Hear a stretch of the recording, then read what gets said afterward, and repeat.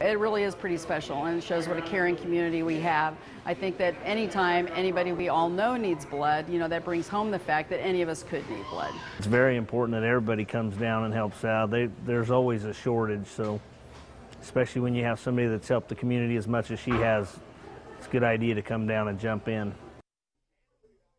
And the family says they appreciate all the support from the community. Anyone wishing to donate in her honor can still do so at the Houchin Blood Bank. From the newsroom, Mark Christian, 23 ABC.